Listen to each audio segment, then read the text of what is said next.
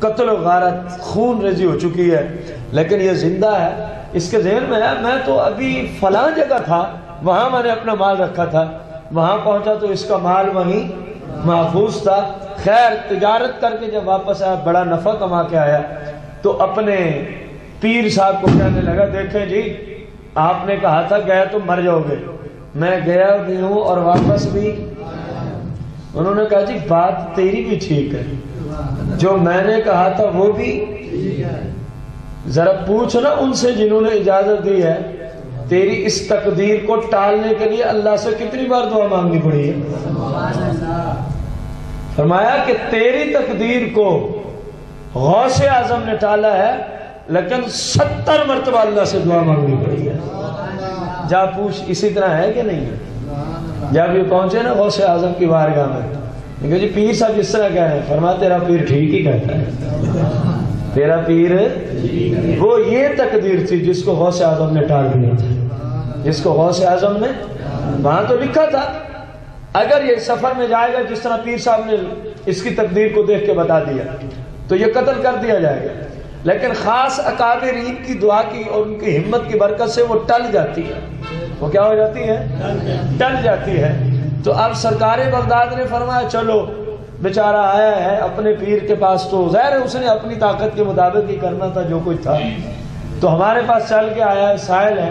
فرمایا، چلو، کوشش کریں گے، آپ چلے گئے آپ پھر تقدیر کو ٹال کے دکھایا۔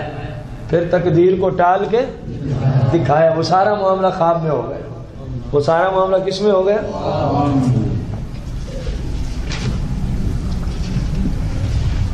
اور اسی اسی کی نسبت، اسی کی طرف سرور دو جہاں علیہ السلام نے بھی ارشاد فرمایا ہے، بے شک دعا جو ہے وہ قضاء مبرم کو بھی ٹال دیتی ہے۔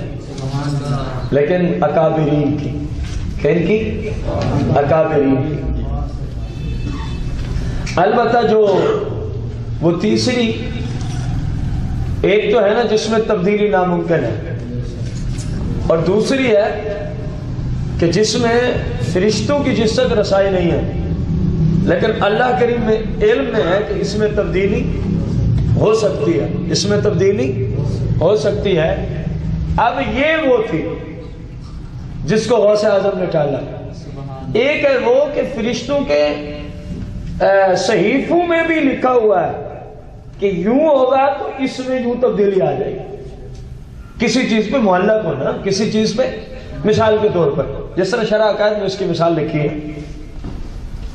انہوں نے لکھا کہ جو فرشتوں کے صحب میں جو ان کے پاس لکھے ہوئے ہیں اور آپ ان کے اندر مثال کے طور پر لکھا ہے کہ نذیر نامی شخص کی زندگی جو ہے وہ پچاس برس کتنی ہے؟ پچاس برس۔ اگر اس نے فلاں فلاں اور فلاں نیکی کا کام کیا تو اس کی عمر جو ہے وہ ستر سال کر دی جائے گی۔ اس بات کا فرشتوں کو بھی علم ہوتا ہے۔ اس بات کا فرشتوں کو بھی علم ہوتا ہے۔ اب آپ کو وہ حدیث سمجھ میں آئے گی۔ اسی طرح ایک دو مثال اور دے دوں تاکہ آپ کو حدیث صحیح لفظوں میں سمجھ آئے۔ ایک بندے کی قسمت میں لکھا ہے، تقدیم میں لکھا ہے تو اس کو ماہانہ پندرہ ہزار نہیں ملنے ہیں۔ یہ جو آج کل نظام چل رہا ہے، کتنے ملنے پندرہ ہزار روپے ملنے لیکن ساتھ ہی لکھا ہوا، اگر اس نے فلاں کام کر لیا تو پھر پچیس ہو جائیں گے۔ پھر کیا ہو جائیں گے؟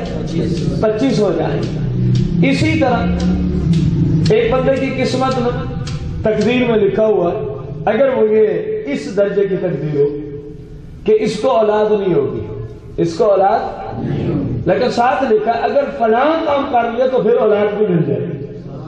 پھر اولاد بھی اب سمجھنا۔ حدیث مبارکہ کو سرکار علیہ السلام نے فرمایا، جس کو یہ پسند ہو، جس کو یہ کہ میری عمر بڑھ جائے اور میری روزی میں برکت پڑ جائے۔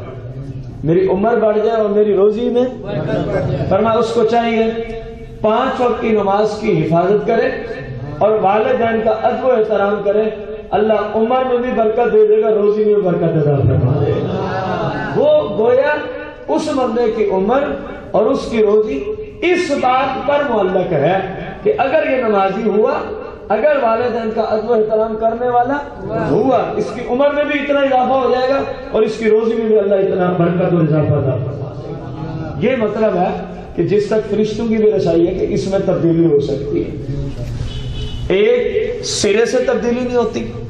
اللہ کریم کے علم میں ہے یہ کہ تبدیلی نہیں ہوتی۔ ایک ایسی جس میں تبدیلی تو ہوگی۔ کس طرح ہوگی؟ اس تک اللہ کریم کے علم کو رسائی۔ فرشتوں کی رسائی نہیں ہے۔ اور تیسری وہ تبدیل ہو سکتی ہے، لیکن اس کا فرشتوں کو بھی پتا ہے۔ اس کا فرشتوں کو بھی۔ بھئی اگر نماز نہ پڑھی تو پچاس بار زندگی وہی لکھا ہوا ہے۔ اگر نماز پڑھنا شروع کر دی تو پھر اسی سال کر دیں گے۔ اگر صدقہ و خیرات والدین کا احترام نہیں ہے، تو اس کی روزی اتنی ہے۔ اگر یہ دونوں باتیں آ جائیں تو اس کی روزی اتنی کر دی جائے۔ اس کی روزی اتنی، اس بات کا فرشتوں کو بھی علم ہے۔ اس بات کا فرشتوں کو بھی گویا ایک سادہ لفظ آپ سمجھا دوں آخر میں۔ ایک کسی صورت تبدیل نہیں ہوتی، ایک کو اکابرین تبدیل کراتے ہیں۔ اور ایک وہ ہے جو میں اور آپ بھی اگر اچھا کام کریں تو تبدیل ہو جاتی ہے۔ کوئی مسلمان اگر اچھا کام کرے تو اس کی وجہ سے اس میں تبدیلی ہو سکتی ہے۔ یہ مطلب ہے ان تینوں کا۔ البتہ ال تقدیر قضاء اور قدر کے جو مسائل ہیں، ان میں زیادہ باس کرنے کی شرن اجازت نہیں ہے۔ میں اور آپ کون ہوتے ہیں؟ کیا ہوتے ہیں؟ سیدنا ابو بکر اور سیدنا فاروق اعظم، جو صحابہ میں سب سے بڑے عالم ہیں۔ تمام صحابہ میں شان بھی زیادہ ہے، فضیلت بھی زیادہ ہے، عزت بھی زیادہ ہے، علم بھی زیادہ ہے۔ اس کے باوجود جب گفتگو کرتے ہیں نا، تو سرکار نے فرمانا تقدیر پہ کلام نہ کرو۔ تقدیر پہ زیادہ کلام نہ کرو۔ بھائی، جب ان ہستیوں کو روک دیا گیا، میں اور آپ کی شمار۔ میں اور آپ کسی کھاتے بھی نہیں، البتہ اتنا سمجھ لو، اللہ تعالیٰ نے آدمی کو مثل پتھر کے یا بے حص پیدا نہیں کیا۔ بے حص؟ کیونکہ میں تو پتھر ہی اللہ جس طرح ہلائے گا میں ہلوں گا، ایسی بات نہیں ہے۔ بلکہ اس کو ایک طرح کا اختیار دیا۔ چاہے تو نیک کام کرے، چاہے تو برے کام کرے۔ چاہے تو نیک کام کرے، چاہے تو برے کام کرے۔ اس کو اختیار دیا۔ ہے کہ اس کی مرضی ہے، ایک کام چاہے کرے، ایک کام چاہے نہ کرے۔ مثال کے طور پر، آپ کے سامنے کھانا کسی نے رکھا، آپ کی اپنی مرضی ہے کہ نہیں؟ چاہیں گے تو کھا لیں گے، چاہیں گے تو آپ کہیں گے کھا لو میں نے کھانا ہی اختیار ہے کہ نہیں؟ مجبور ماض نہیں ہے۔ اور ساتھ عقل بھی دے دی، تاکہ ان کو پتہ چلے اچھا کیا ہے، برا کیا ہے۔ اچھا کیا ہے اور نفع نقصان کو پہچان سکیں۔ اور ہر طرح کے ہر طرح کے سامان اور اسباب بھی مہیا کر دیے کہ جب کوئی کام تم کرنا چاہو گے تو اس کے اسباب مہیا ہو جائیں اس کے اسباب کیا ہو جائیں گے؟ اسی وجہ سے تو کل کو پوچھا جائے گا۔ اگر بندے کو اختیار ہی نہیں ہے تو قیامت کے دن پوچھا کس چیز کے بارے میں جائے گا؟ تو نے نماز کیوں نہیں پڑھی تھی؟ بندہ کہ یا اللہ تو نے مجھے بنائی مجبور مارسا تو پوچھتا کیا ہے؟ اختیار ہے تو کل کو سوال ہوگا نا۔ مواخذہ ہوگا، اس کا یہی مطلب ہے۔ بتا تو نے روزے کیوں نہیں رکھے اب روزہ رکھنے کا اختیار ہے انسان میں، تبھی تو سوال ہوگا۔ پوچھا جائے گا بتا تو نے زکات کیوں نہیں دی تھی؟ زکات دینے کا اختیار انسان میں ہے، تبھی تو پوچھا جائے گا۔ پوچھا جائے گا، تیرے اوپر حج فرض ہو گیا تھا، تو نے حج اس کے اوپر حج کرنے کتنے اختیارات مالک نے عطا کیے تھے؟ تبھی تو سوال کیا جائے گا۔ ورنہ اگر بندہ ہو ہی نسل پتھر گیا پتھر سے کوئی سوال ہونا؟ بندہ کہ نہیں جی مجھے تو اللہ نے مجبور کر دیا۔ یہ مسلمانوں کا عقیدہ نہیں ہے۔ مسلمان کا عقیدہ یہ ہے، اللہ کریم نے انسان کو کیا دیا ہے؟ جس طرح چاہے کرے۔ اور اچھے برے کی تمیز کے لیے کیا عطا فرمائی ہے؟ عقل۔ یہی وجہ ہے۔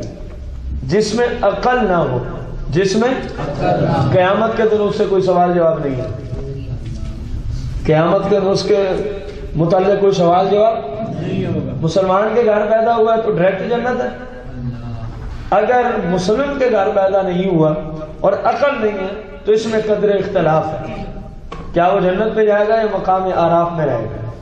جنت پہ جائے گا یا مقام ہے بالک جو بھی اللہ کی مشیت ہے ہم اس پہ ایمان رکھتے ہیں۔ اس بارے میں جو بھی اللہ کی مشیت ہے ہم اس پہ ایمان رکھتے ہیں۔ عقل ہی کی وجہ سے سوال و جواب ہے۔ کیوں عقل نہ ہو تو بندے کو پتہ نہیں چلے گا، یہ میرے حق میں اچھا ہے یا برا ہے۔ عقل ہوگی تو تمیز کر سکے گا۔ ادھر عقل دے دی اچھے برے کے پہچان کے لیے۔ ادھر کرنے نہ کرنے کا اختیار عطا فرما دی۔ کرنے نہ کرنے کا بس انہی دو باتوں پر کل کو مواخذہ ہوگا۔ انہی دو باتوں پر کیا ہوگا؟ اسی لیے تو امام اعظم ابو حنیفہ محمد نعمان بن ثابت رضی اللہ تعالی عنہ فرمایا کرتے تھے کہ ایک بندہ جنگل میں ہے کائنات کا کوئی بندہ اس کو نہیں ملا نہ کوئی دین کی بات پہنچی ہے۔ اگر عقل رکھتا ہے تو قیامت کے دن صرف ایک سوال ہوگا کون سا؟ کہ بتا اللہ ایک ہے۔ اگر اس نے کہہ دیا اللہ ایک ہے تو اس کو جنت مل جائے۔ گی امام صاحب نے فرمایا وجہ کیونکہ جہاں بھی رہتا تھا آخر یہ نظام تو وہ دیکھتا تھا کہ نہیں دیکھتا تھا۔ سورج ایک ہی طرف سے نکلتا ہے، ایک ہی طرف روزانہ ڈوب جاتا ہے، غروب ہو جاتا ہے۔ روزانہ دن آتا ہے، رات چلی جاتی ہے۔ رات آتی ہے تو دن چلا جاتا ہے۔ یہ سیارے ہیں، یہ ستارے ہیں۔ یہ کائنات کا جو نظام ہے، کم از کم اس کو کوئی تو چلا رہا ہے۔ یہ عقل بندے کو مجبور کرتی ہے۔ عقل ہے تو یہ سوال ہوگا، کوئی تو چلا رہا ہے، وہی اللہ ہے۔ وہی کون ہے؟ اللہ۔ بس اتنا اس کے لیے جنت میں جانے کے لیے کافی ہے۔ جنت میں جانے کے لیے کیا ہے؟ کافی ہے۔ البتہ اپنے آپ کو اپنے آپ کو بالکل مجبور یا مختار کل ماننا۔ یہ گمراہی ہے۔ یہ کیا ہے؟ گمراہی ہے۔ میں اور آپ مختار کل نہیں ہے جس ہستی کو رب نے بنایا اس کو ہر کوئی جانتا ہے۔ سرکار کو تو ہر کوئی جانتا ہے۔ جیسے چاہتے تھے، اسی طرح فرما دیتے، رب کی شریعت بن جاتی تھی رب کی کیا بن جاتی تھی؟ برا کام کر کے تقدیر کی طرف نسبت کرنا اور مشیت الہی کے حوالے کرنا اور مشیت الہی کے حوالے کرنا، کون سا کام کر کے؟ مثلا نماز نہ پڑھی۔ نماز؟ اور پھر کیا نا اللہ نے جو لکھا تھا نہیں پڑھنی میں نے نہیں پڑھی۔ یہ انتہائی بہت بڑا گناہ اور گمراہی ہے۔ بہت بڑا گناہ اور کیا ہے؟ بلکہ حکم یہ ہے کہ اچھا کام کرے تو یوں کہے کہ اللہ کی توفیق سے اچھا کام میں نے کیا۔ اللہ کی توفیق سے میں نے اور جو برا کام کرے تو سمجھے یہ نفس امارہ کی وجہ سے مجھ سے برائی ہو گئی ہے۔ میری نفسانی شہوات اور خواہشات اور باطل قسم کی جھوٹی خواہشات نے مجھ سے گندہ کام کرا دیا اپنی طرف نسبت کرے سمجھ آئی کہ نہیں ہے اللہ کریم کی ذات، جہد، مکان، زمان، حرکت، سکون، شکل، صورت، جمی حوادثات سے پاک ہے۔ اب جہد، میں بیٹھا ہوں نا، کچھ چیزیں میرے آگے ہیں۔ کچھ چیزیں میری دائیں جانب کچھ چیزیں میری کچھ میرے کچھ میرے کچھ میرے نیچے۔ کچھ میرے نیچے۔ یہ چھ جہاد ہوتی کتنی جہاد ہے غور کر لینا اوپر نیچے آگے پیچھے دائیں اور بائیں۔ چھ جہاد۔ اللہ کریم ان جہاد سے پاک ہے۔ کیونکہ یہ جہاد جس طرح کے شرح عقائد نسویہ میں ان جہاد کا ہونا اس بات کو لازم ہے کہ یہ اسی کے لیے ہو سکتی ہیں جس کا جسم ہوگا۔ جس کا کیا ہوگا؟ اب میرا جسم ہے اس لیے میری چھ کی چھ جہاد ہے۔ لیکن اللہ کریم جسم سے پاک ہے۔ اللہ کریم جسم سے کیا ہے؟ دنیا کی زندگی میں اللہ کریم کا دیدار صرف رسول اللہ کے ساتھ خاص ہے۔ سرور دو جہاں کے ساتھ کیا ہے؟ خاص ہے۔ اور آخرت میں ہر سنی مسلمان کے لیے ممکن بلکہ واقع ہے۔ بلکہ کیا ہے؟ یعنی دنیا میں اللہ کو صرف کس نے دیکھا ہے؟ بولے نا یار۔ دنیا کی زندگی میں اللہ کو صرف کس نے دیکھا ہے؟ سرور دو جہاں، سرکار مدینہ محمد بن عبداللہ، امام الانبیاء والمرسلین صلی اللہ علیہ وسلم ہی کے ساتھ خاص ہے اور آخرت میں اللہ کے کرم سے ہر سنی کو اللہ اپنا دیدار کرائے گا۔ ہر سنی کو مالک اپنا دیدار کرائے گا۔ جس طرح قرآن مجید فرقان حمید میں ہے انتیسواں پارہ ہے، سورہ القیامہ ہے، آیت نمبر بائیس اور تیئیس ہے۔ آیت نمبر بائیس اور وجوہ یوم ازین نادرہ الى ربیہ ناظرہ۔ کہ اس دن جو چہرے پھول کی طرح تر و تازہ نور برساتے ہوئے ہوں گے نا الى ربیہ ناظرہ، وہ اپنے رب کا دیدار بھی کریں گے۔ وہ اپنے رب کا دیدار بھی کریں گے۔ حتیٰ کہ سیاہ میں یہ حدیث مبارکہ موجود ہے اور عقائد کی کتابوں میں تو کثرت کے ساتھ اس پر کلام ہوا۔ سرکار صلی اللہ علیہ وسلم نے صحابہ کو اتنے تک فرمایا کہ تم اپنے رب کو یوں واضح دیکھو گے جس طرح چودویں رات کا چاند تمہیں واضح طور پہ نظر آتا ہے۔ اس طرح اللہ کی جو بھی شان ہوگی، وہ ہم نہیں جانتے، جب دیکھیں گے بتائیں گے۔ وہ ہم جانتے نہیں، کوئی یہ مت سمجھے کہ اللہ کریم ایسا ہی ہوگا جس طرح چودویں کی رات کا چاند ہے۔ ایسی بات نہیں، بلکہ بتایا کہ جس طرح یہ واضح نظر آتا ہے۔ اسی طرح اللہ کی جو بھی شان ہوگی، آئے گی واضح طور پہ نظر۔ آئے گی واضح طور پہ نظر۔ باقی رہا قلب کے دیدار یا خواب کی حالت میں دیدار۔ کون سا؟ یہ تو باقی انبیاء علیہ السلام کو بھی ہوا۔